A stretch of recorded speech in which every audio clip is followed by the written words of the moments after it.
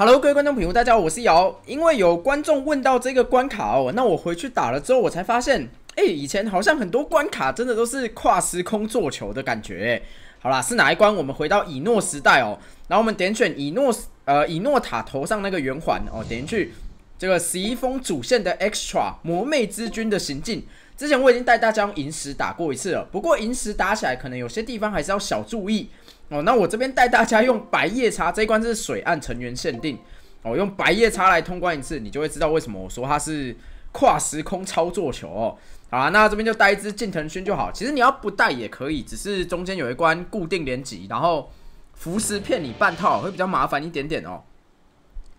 好来，第一关帮你把技能恢复哦。那这边你可以先把白夜叉开下去啊，先不要关哦。那第一关那个血很少，随便转都有哦。那时候觉得这一关礼多必诈，一开始就帮你把技能恢复，肯定有鬼哦。那的确在当时也真的不好打，那现在就比较还好啦。来这边的话就直接去转哦。这边是二十五帕盾，然后有一个燃烧哦。那这个燃烧的话，白夜叉也有直接把伤害减到一的效果，所以这边。呃，对他打你之后啦，你是只剩下一滴血，没错。但是这边不用紧张哦，你就直接朝剩下的再去转就好。那等一下如果越来越多怎么办？哎，这就是为什么我白夜叉一直没有关掉去压血的原因哦，就在这边要做一个备案呐。好，按你这边对，如果还可以转，那你就继续转哦。然后不能转，你就可以把那个白夜叉关开一次了。啊，你看，像这时候特别多，好，把它关掉，然后开另一只，这样你就又有很多空间可以去撸这个伤害哦。因为它只是把燃烧伤害减到一啦，你如果撸太多，呃，不是撸太多啊，你如果剩下一的时候还去撸，那一样会死掉。这个跟有人玩吃油会把自己烧死的原因是一样的。好，来手消全新，然后回复颠倒，白夜叉自己自带回复归零效果哦。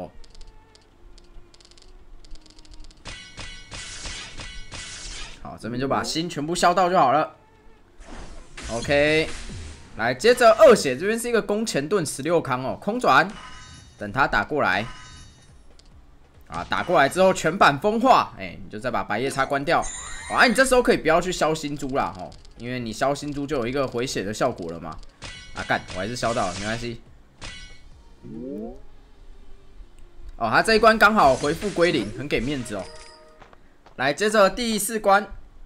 好，第四关这边就是我说的，哎，还没，还没，还没到这时候哦。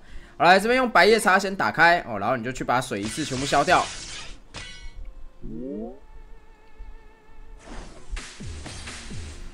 啊，消掉之后，它下一回合就直接把你转掉，你场上也不会有那么多水哦。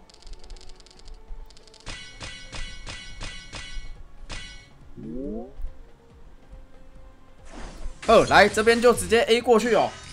来，接着第五关啊，第五关就是我说的浮石骗你半套哦，啊，这边就开近藤，直接去无视他的固定连击。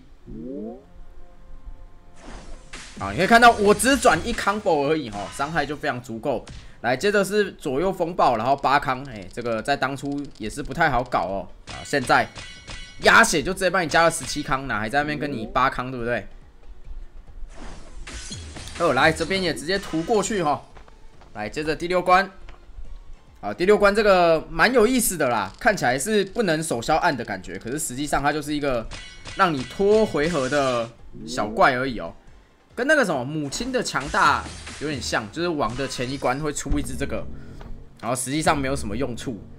好，接着王一这边哦，它就是自残，你就空转就好了啊，然后它会把你整版变成暗，然后回复剩五趴，不过没关系哦，白夜叉就是打不死，你真的说我要鸡蛋里去挑骨头的话，就是。